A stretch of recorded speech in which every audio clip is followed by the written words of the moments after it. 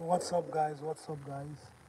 Alright, today I'm going to transplant a June plum tree. If you notice, the container is pretty small. This, this is a dwarf. This is a dwarf June plum. But if you notice, you're gonna see it already have an blossom. As you can see, as what I've learned, I've learned that this can self-pollinate, which is awesome. And the leaf of the June plum is very tasty. Some people eat them as salad, some people eat them in their dishes, but I know they're very tasty because I've tasted myself. So what we're gonna do today, we basically want to um, put it in a bigger pot. The reason for that is this is, is way too small and you want more production. If this pot is big, what's gonna happen is gonna have even way more flowers because it's gonna push more roots. And because it pushes more roots, it stands a chance of getting bigger.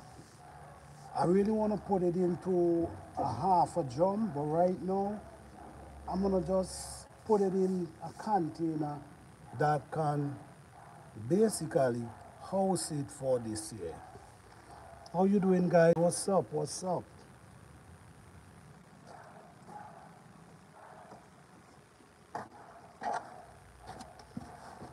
This is actually the container I'm going and put it into. I have my rainwater already.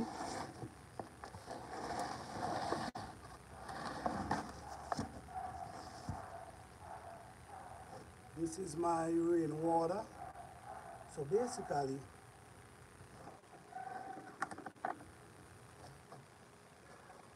I also have some dirt that I have taken from my garden. So let's let's do this. Okay, so let me see. Shout out to everyone. Thank you all.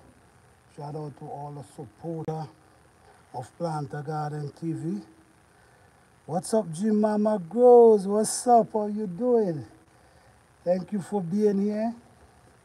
I'm actually transplanting this June plum. is a tropical plant, but you got to take it indoors, maybe in a greenhouse in the fall.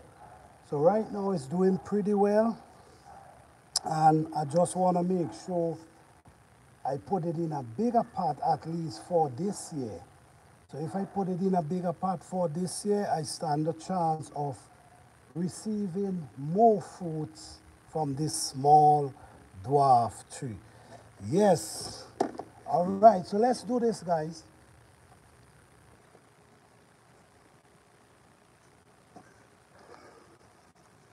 First of all.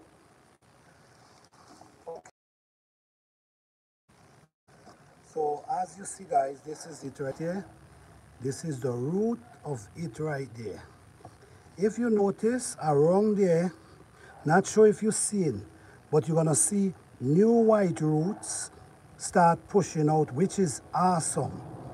These new white roots showing that this is actually start growing, but problem is, so this is what I'm gonna do today.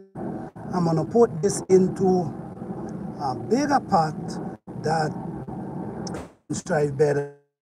Next year I might put it in a half a drum. Right now, I'm just going to put it in a bigger pot right at this moment. So, okay, this is our bigger container. So what we're to do, we're to put it down inside here.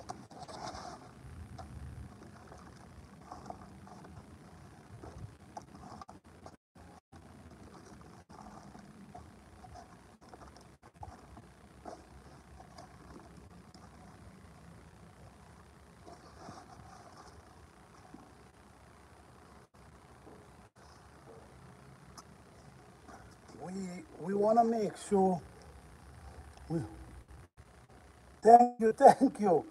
Yes, we want to make sure that we put it pretty straight.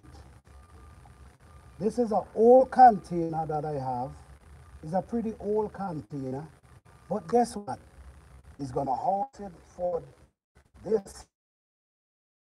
I'm gonna clean and I'm gonna put it and just let it relax for this year. All right, so I wanna put it straight. So as you see, I already put some soil, so I'm gonna continue putting the soil around it. Then I'm gonna wet it with some rainwater.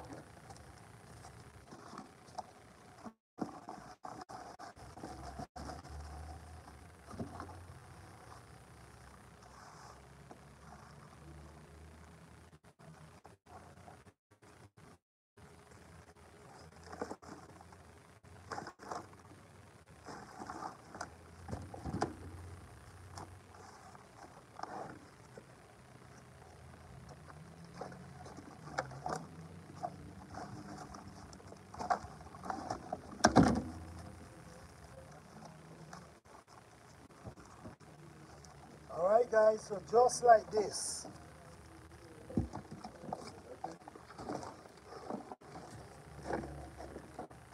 Just like this, I'm not sure if you guys can see it.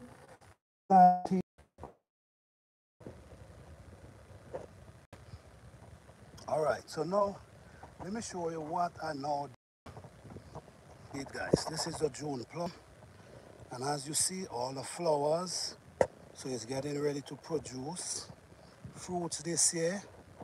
All right, sorry for the signal, guys.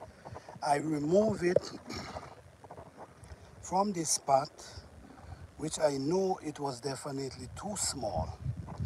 This is a PHA as well that I remove and I put into bigger pots.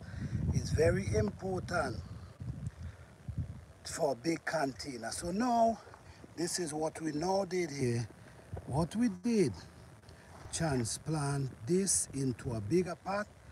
So now we stand a chance of getting a bigger plant, put out more leaf, put out more flowers for this garden season.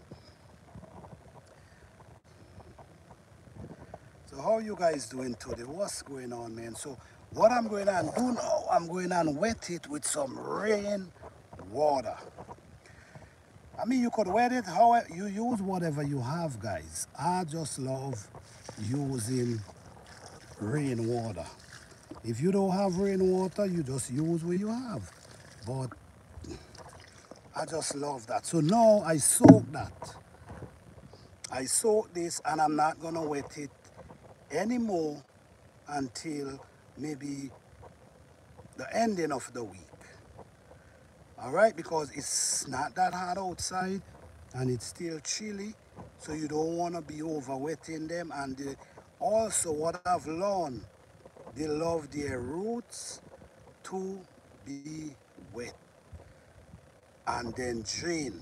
They don't love their room to be soaking wet. So yes, guys, this is what we did.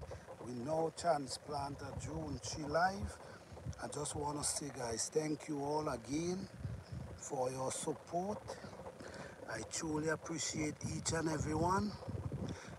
Thank you, Jim Mama, for coming too. Appreciate you.